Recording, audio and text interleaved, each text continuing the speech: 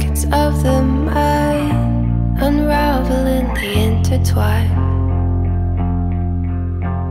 Recording what it finds and making sure we don't go blind. Beating of my heart, its rhythm loud. Flowing veins throughout, always without a doubt.